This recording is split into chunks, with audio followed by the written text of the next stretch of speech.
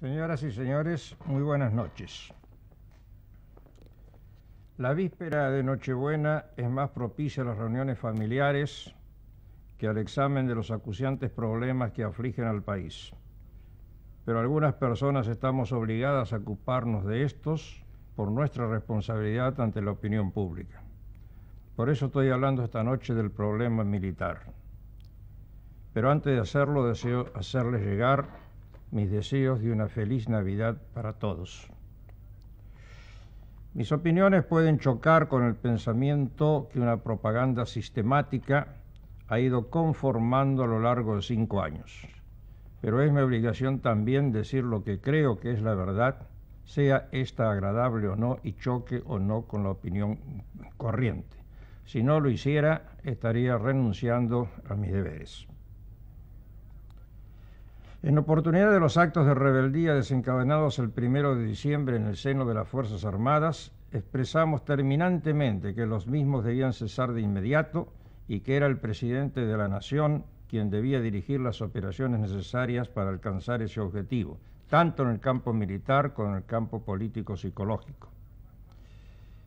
Por nuestra parte nos supeditábamos a sus decisiones y ofrecíamos nuestro apoyo y colaboración para controlar cuanto antes esos hechos pero al mismo tiempo advertíamos que estos no se producían por sí solos y que había causas profundas que provocaban su periódica aparición. Que si bien no era ese el momento de discutir dichas causas, tan pronto como la situación quedara bajo control habría que hacerlo. En eso estamos ahora. El presidente de la Nación acaba de formular una excepcional convocatoria sin precedentes a la Asamblea Legislativa y prácticamente intervino en el debate acerca de la cuestión militar al reiterar los puntos de vista del gobierno y del partido del radicalismo y al invitar a los partidos políticos a asumir sus responsabilidades. El peronismo se ha expresado ayer a través del doctor Cafiero. Hoy lo hago yo en nombre de la UCD y de la Alianza de Centro. Lo que voy a exponer no es producto exclusivamente de los episodios vividos estas últimas semanas, ni refleja tampoco una posición nueva resultante de esos acontecimientos.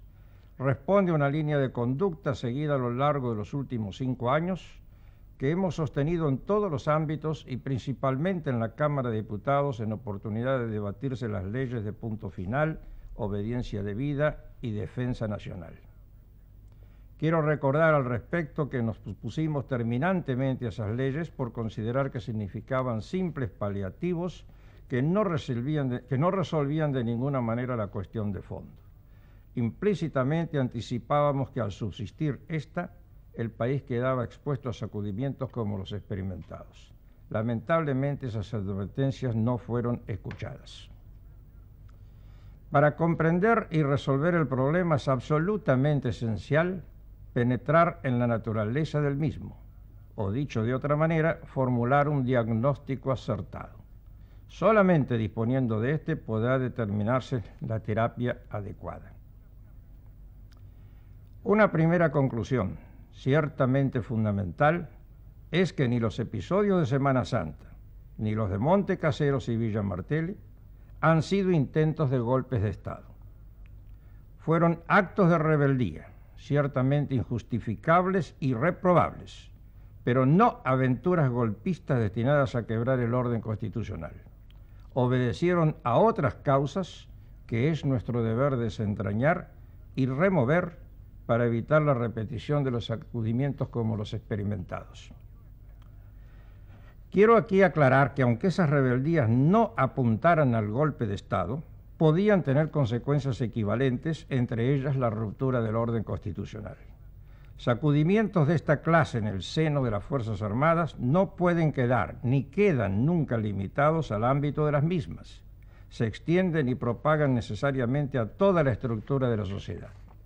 De manera que no se pueden justificar afirmando que no existía la intención del golpe de Estado. La resultante, como he dicho, podía ser, llegar a ser la misma. Recuérdese el precedente de la caída del doctor Frondizi. Los jefes militares manifestaban entonces que no querían la ruptura del orden constitucional, pero precipitaron acontecimientos que llevaron a ella. sin duda creían en lo que afirmaban, y la prueba está en que no se hicieron cargo del gobierno, sino que aceptaron la asunción del doctor Guido. Pero todo ocurrió como si hubiera habido un golpe de Estado. Si bien la afirmación de que no se quería producir un golpe de Estado no es aceptable como justificativo, tampoco es admisible la postura inversa de quienes sostenían que estábamos en presencia de un golpe de esa clase y procedían, por razones políticas, sobre la base de dicha hipótesis.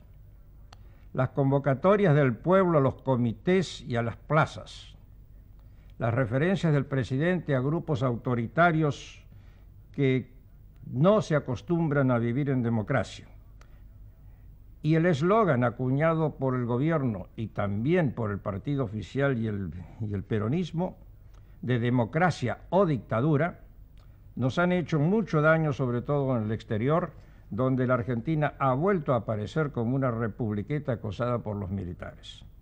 Además, ha contribuido a crear una imagen falsa en el país y a complicar aún más la cuestión militar. Aclarado este punto esencial de que no estábamos en presencia de un golpe de Estado y que solo por la gravitación propia de los acontecimientos corría riesgo el orden constitucional, queda por establecer a qué se deben estas rebeldías, que por tres veces en menos de dos años han conmovido a la nación. En nuestra opinión, el problema se deriva de los graves errores cometidos por el gobierno y los principales partidos políticos en el tratamiento de las secuelas de la guerra antisubversiva. El mayor de esos errores, del cual se derivan todos los demás, es el haber creado a partir del decreto 158 un mecanismo para juzgar hechos de guerra a la luz de la justicia, los códigos, los procedimientos y las leyes de tiempo de paz. Ello impulsado y sostenido por una agresiva campaña desatada por todas las tendencias izquierdistas y por activistas diversos que se presentan como presuntos defensores de los derechos humanos, los cuales han conseguido que, con la excusa de castigar hechos aberrantes y excesos de lesa humanidad, se enjuicie a las Fuerzas Armadas como institución y se la siente en el banquillo de los acusados. A esta altura quiero dejar claramente establecido, de la manera más enfática y con el respaldo de lo que venimos sosteniendo en la práctica desde 1983, Véanse a este respecto las bases doctrinarias de la UCD en el capítulo correspondiente, que los excesos y actos aberrantes que pudieran haberse cometido durante la guerra, en violación de las leyes de esta, deben ser investigados, individualizados sus autores y castigados estos con el mayor rigor de acuerdo con las circunstancias y procedimientos de tiempos de guerra. Lo que no puede ni debe hacerse es, como he dicho, extender a todas las Fuerzas Armadas como institución constitucional el repudio que aquellos actos merecen. Lo malo es que muchas personas de buena fe han sido alcanzadas por esta perversa retórica que implica una generalización falaz y destructiva. Hasta el presidente de la República se ha visto arrastrado por esa actitud al afirmar en repetidas oportunidades que la democracia argentina era la única que había sido capaz de enjuiciar a los militares sin aclarar debidamente la diferencia entre los hechos punibles y el desempeño de las Fuerzas Armadas en el transcurso de la guerra. Lo expresado hasta ahora nos lleva al meollo del problema, a una disyuntiva clave de cuyo esclarecimiento depende la solución de estos. Los que los cuadros de oficiales y suboficiales de las Fuerzas Armadas quieren saber es si la sociedad civil los considera asesinos y genocidas que han actuado al servicio del terrorismo de Estado, o si ve en ellos combatientes que terminaron con la subversión, la guerrilla y el terrorismo, contribuyendo así a crear las condiciones para el restablecimiento del orden constitucional. Esta es la clave. Insisto una vez más, esta pregunta nada tiene que ver con el tema de los excesos y aberraciones que deben ser juzgados y castigados aparte. Lo que se requiere es determinar si toda la acción militar contra el enemigo subversivo cae bajo la denominación de terrorismo de Estado de asesinatos y genocidios, o si se trata de una acción que condujo a ganar la guerra. Esta es la gran cuestión subyacente en el llamado problema militar. Esto es así, porque las Fuerzas Armadas no son solamente un grupo de hombres que visten uniforme, que tienen armas y que responden a una organización determinada. Para ser realmente Fuerzas Armadas, deben estar animadas de un ideal. Deben tener ese algo intangible que se llama espíritu militar. Deben estar imbuidas a sí mismos de una moral elevada. Deben, en una palabra, tener un alma, sin la cual no constituyen verdaderas fuerzas armadas, sino bandas armadas. Y esa alma es de la que se ha, perversamente se ha querido privar a las instituciones armadas. Mientras no se conteste esta pregunta acerca de si la sociedad civil considera que las Fuerzas Armadas han actuado durante la guerra antisubversiva como asesinas y genocidas al servicio del terrorismo de Estado, o lo han hecho como combatientes para terminar con la subversión, no habrá paz en el seno de las instituciones militares y éstas resultarán cada vez menos aptas para el cumplimiento de su función constitucional de defender a la nación y a la Constitución. Incidentalmente quiero acotar aquí que estamos en presencia de acontecimientos que pueden significar el rebrote de la guerrilla y del terrorismo. Y las Fuerzas Armadas, de acuerdo con la Ley de Defensa Nacional votada por este Parlamento, estarían inhibidas de actuar en ese caso. Esta es otra aberración que se ha cometido durante el presente periodo al dictar una ley de defensa nacional que mantiene alejada de las Fuerzas Armadas frente a un ataque del terrorismo y de la guerrilla. Y es inútil que se busquen eufemismos para explicar que esto no es así. Está así escrito en la Ley de Defensa Nacional.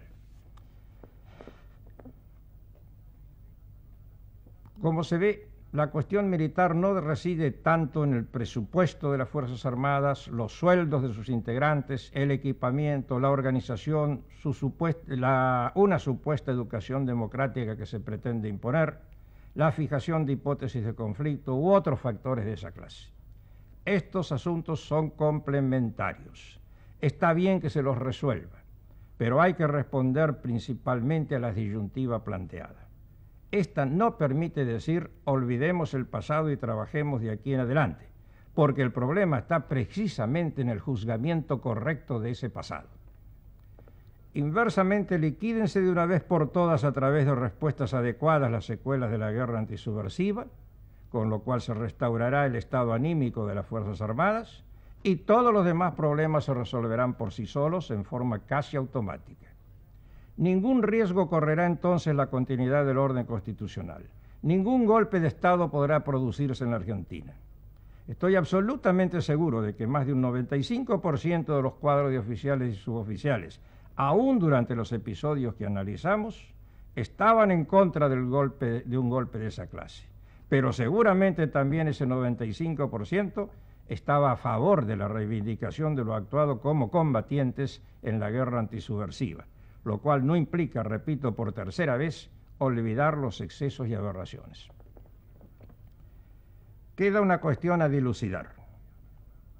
¿Cómo se hace para dar la respuesta a la disyuntiva fundamental que dejo planteada? Obviamente este problema no puede resolverse en el seno de las Fuerzas Armadas. Es la sociedad civil, o sea, el gobierno, incluido el Parlamento, los partidos y dirigentes políticos, líderes diversos de la comunidad y demás personas que influyen en ella, la que debe encontrar esa respuesta. Más sintéticamente, el problema militar ha pasado a ser un problema político. Por esta razón, y fundamentalmente porque no deben repetirse hechos que ponen en peligro el orden constitucional, los miembros de las Fuerzas Armadas deberían abstenerse de aquí en adelante de tratar de resolver el problema por sus propios medios dentro de su propia esfera. Ello concierne, como digo, a la clase política, que está obligada a buscar soluciones en última instancia concierne a la ciudadanía que el 14 de mayo sabrá juzgar a quienes no hayan sabido resolver sus problemas. Llegamos a fines de 1988 con dos graves cuestiones. La crisis militar que estamos analizando y la crisis económica y financiera que ha arrastrado al país a un lugar muy atrás en el concierto de las naciones, a cinco años de funcionar este gobierno. El 14 de mayo del año próximo, la ciudadanía tiene la oportunidad de juzgar a quienes no han sabido resolver estos problemas. El presidente de la Nación en su discurso ante la Asamblea Legislativa planteó en cierta forma esta cuestión. Invitó a los partidos políticos, incluso el suyo, a tomar parte activa en el debate. Nosotros estamos dispuestos a enfrentarlo y desde ya queremos sugerir algunos puntos que pueden servir para ordenarlo. Estos puntos son, primero, establecer definitivamente que se libró en el país una guerra subversiva desatada por terroristas y guerrilleros de diversa afiliación, y que las Fuerzas Armadas participaron en ellas por mandato de presidentes constitucionales, el doctor Luder y María Estela Martínez de Perón, que impartieron la orden de aniquilar el accionar del enemigo. Segundo, establecer asimismo que la lucha contra la subversión debe o no ser calificada como terrorismo de Estado. Tercero, aclarar las disyuntivas ya planteadas de si los jefes y oficiales que lucharon en la guerra antisubversiva fueron asesinos y genocidas al servicio del terrorismo de Estado o si fueron combatientes que derrotaron a los extremistas de derecha e izquierda que desencadenaron la guerra. Como digo, estamos dispuestos a dar nuestras respuestas a estos interrogantes, pero queremos que todos los demás también lo hagan. El discurso del presidente ante la Asamblea Legislativa no contiene respuestas claras a estas preguntas. Más bien aumenta la confusión, sobre todo si se lo relaciona con el discurso del ministro de Defensa del 17 de diciembre en el Colegio Militar, cuando dijo, las Fuerzas Armadas se vieron ante la circunstancia de tener que enfrentar militarmente a un enemigo de, de nuestra convivencia sin el diseño ni la adaptación necesarias para esa emergencia. La mayor parte de la lucha se llevó a cabo fuera del marco de los gobiernos constitucionales, quedando cuestionada la legitimidad político y jurídica de una lucha que era necesaria. Eliminaron el fenómeno, pero no evitaron el reproche. No evitaron el reproche. El presidente, en cambio, afirmó que nunca se aceptaría la reivindicación del terrorismo del tal, lo cual implica contrariamente a lo que dice el ministro, suponer que ese terrorismo existió durante la guerra antisubversiva. En cuanto a la opinión del peronismo expresada por el doctor Cafiero, nada dice a este respecto. Debería, sin embargo, haberlo hecho, ya que fue él uno de los firmantes del decreto de aniquilamiento citado. No es con idealizaciones acerca de una democracia que su movimiento nunca practicó en el pasado como se va a resolver la cuestión militar hay que hablar con verdad e ir al fondo del problema. Sabemos que no hay una solución sencilla, que las principales cuestiones aquí planteadas no pueden resolverse por simples actos de autoridad y que es necesaria una toma de conciencia que requiere tiempo por parte de la población. Para contribuir a esta formación de la conciencia que planteamos el problema en la forma que dejo expresada. De aquí en adelante es necesario avanzar, aunque sea paso a paso. Lo único que no puede hacerse es no hacer nada. Esta vez es necesario actuar. Buenas noches.